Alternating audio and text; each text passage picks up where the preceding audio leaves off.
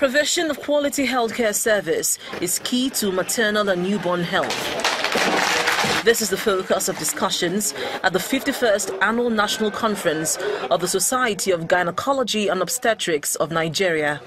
The Sultan of Sokoto is leading several dignitaries to the conference and is worried about the growing threat of drug abuse in the country. How can you use your offices as distinguished healthcare givers in this country to checkmate the rising terrible incident of drug abuse within our women, especially even married women in our country? It's a very, very alarming thing. How do we partner with you to checkmate this very terrible trend?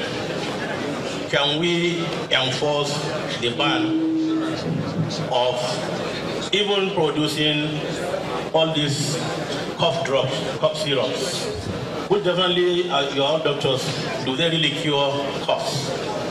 Poor health facilities, persistent industrial action, and drug abuse are some of the issues that have plagued the nation's health sector.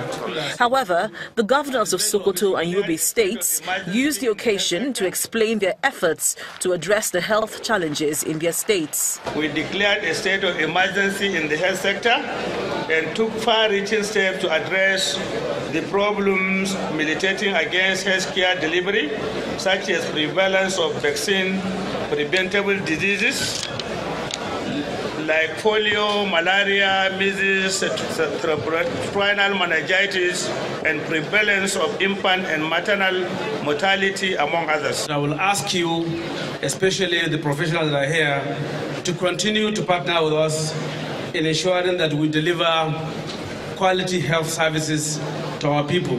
Highlights of the event were the conferment of an honorary status membership on Governor Ibrahim Gaidam of Yobe State and the unveiling of a society's journal by Governor Aminu Tambuwal. Society of Gynecology